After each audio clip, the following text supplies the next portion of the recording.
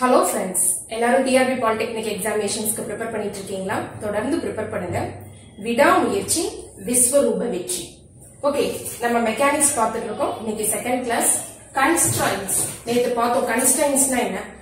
Limitations imposed to system or system of particles அந்த system of particles இயக்கத்துல இருக்கும்போது நாம் அதன் மேல் வைக்கக்கூடிய லிமிட்டேஷன்ஸ்க்கு பெயர் தான் கன்ஸ்ட்ரைன்ஸ் அந்த கன்ஸ்ட்ரைன்ஸை நம்ம நாலு விதமா வகைப்படுத்துறோம்.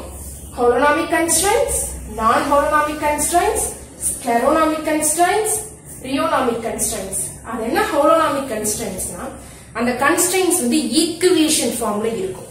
இப்ப நேற்று இந்த எக்ஸாம்பிள் நான் சொல்லியிருந்தேன். ஒரு சர்க்கிளோட சர்க்கம்ஃபரன்ஸ்ல ஒரு பார்ட்டிக்கல் இயங்குது மூவ் ஆகுது.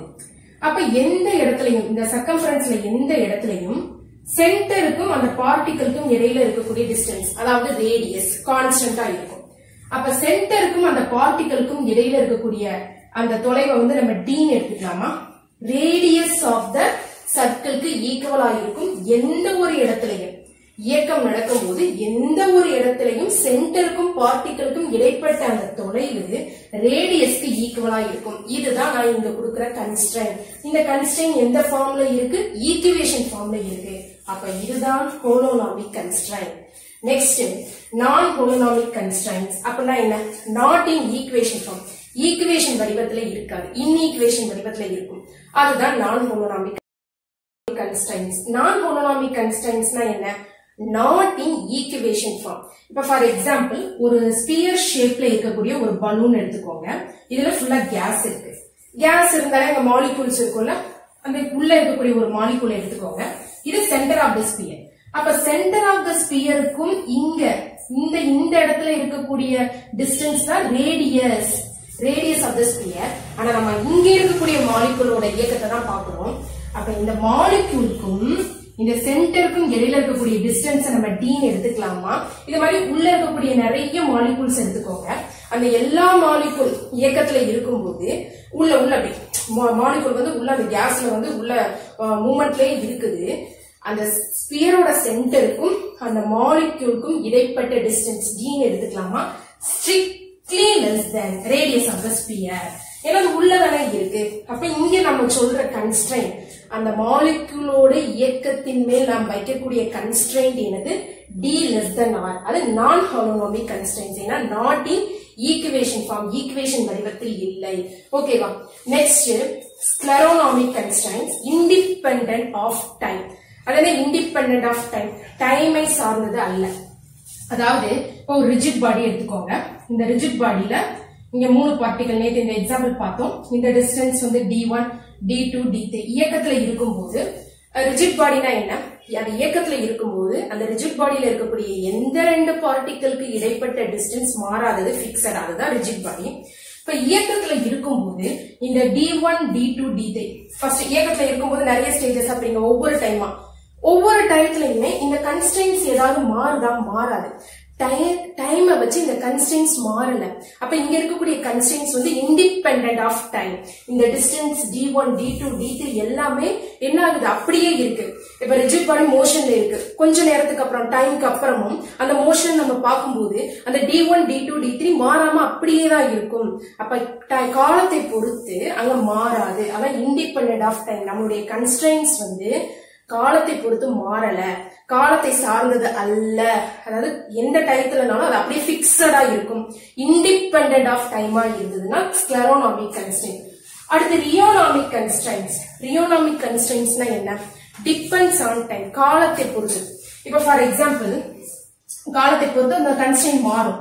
ஒரு ஸ்ப்ரிங் பெண்டுலம் நான் எடுத்துக்கிறேன். என்ன பெண்டுலம் ஸ்ப்ரிங் பெண்டுலம் இப்ப இந்த இதுக்கும் இந்த பாயிண்ட்டுக்கும் இந்த பாப் இங்க இருக்குல்ல இந்த டிஸ்டன்ஸ் நம்ம எல்லுன்னு எடுத்துப்போம். கொஞ்சம் கொஞ்ச நேரம் கழிச்சு இது இந்த இடத்துக்கு இப்படி ஆசிலேட் ஆகும்போது இங்க வரும் இல்லையா? அப்ப கொஞ்சம் ஸ்ப்ரிங் வந்து என்ன ஆயிருந்திருக்கும் கொஞ்சம் விரிவடைஞ்சிருக்கும். எலாஸ்ட் ஆயிருக்கும். அப்ப இந்த இடத்துல அந்த பாப் இருக்குல்ல கண்டிப்பா கண்டிப்பா இந்த லென்த் வந்து அந்த பழைய எல்லாம் இருந்திருக்காது. நம்ம ஸ்ப்ரிங் பெண்டுலத்தை நம்ம எக்ஸாம்பிளா எடுத்திருக்கோம்.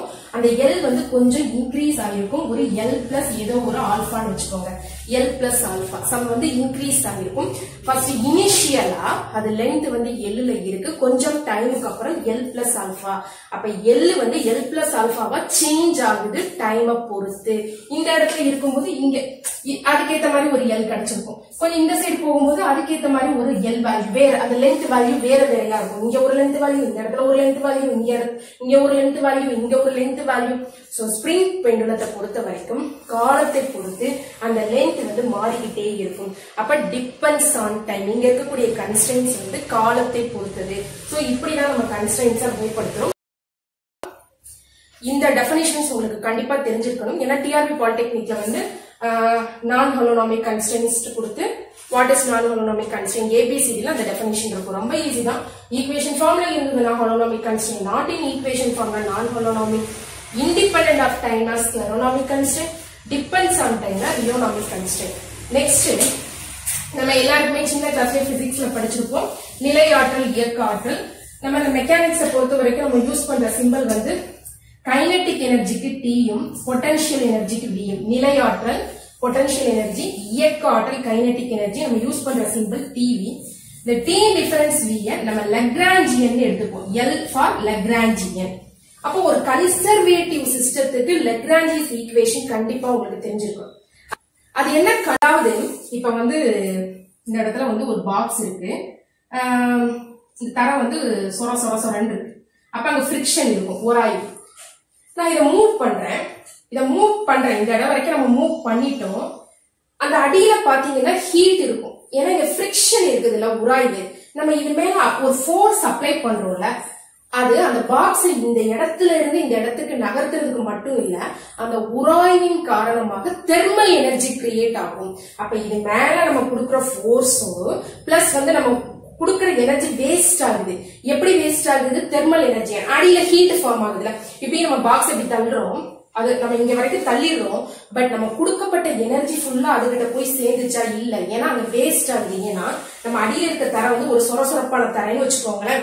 அப்ப அது வந்து உராயுது. உராய்வின் காரணமாக என்ன ஆகும் தெர்மல் எனர்ஜி கிரியேட் ஆகும். நம்ம அது மேல வைக்கிற எனர்ஜி வேஸ்ட் ஆகுது. அப்ப வேஸ்ட் ஆகுறதுனால என்ன பண்ணுது? விரயம் ஆகுது அப்படி விரயம் இல்லாத சிஸ்டம் தான் என்னது? கன்சர்வேட்டிவ் சிஸ்டம் அதை வந்து கரெக்டா நம்ம டிஃபைன் பண்ணோம்னா கன்சர்வேட்டிவ் சிஸ்டம்னா என்ன? நம்ம அங்க கொடுக்குற எனர்ஜி வந்து பாதுகாக்கப்படுது. பாதுகாக்கப்படுது இப்ப கன்சர்வேட்டிவ் சிஸ்டம் அப்ப நம்ம என்ன எப்படி டெபினேஷன் சொல்லணும்னா a conservative system is a system in which work done by the force work done by the force work done by the force is independent of path is independent of path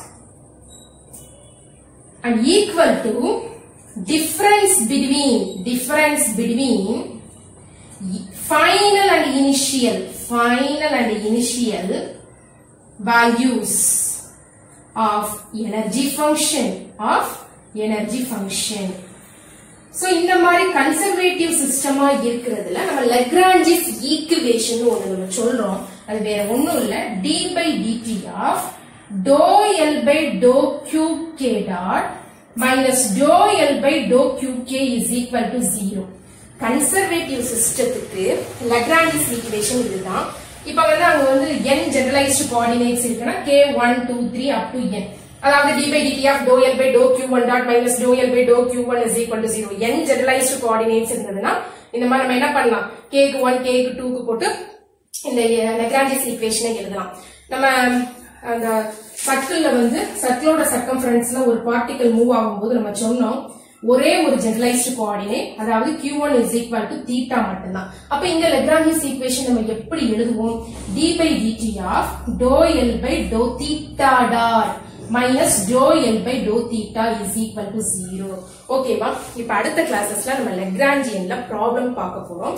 இந்த லெக்ராஞ்சியஸ் equation எல்லாத்தையும் base பண்ணி உங்களுக்கு மெக்கானிக்ஸுக்கு இருக்கக்கூடிய 20 மார்க்ஸ்ல 10 marks வந்து இந்த Lagrangian ஈக்குவேஷனை base பண்ணதா தான் இருக்கும். ஸோ நெக்ஸ்ட் கிளாஸஸ்ல நம்ம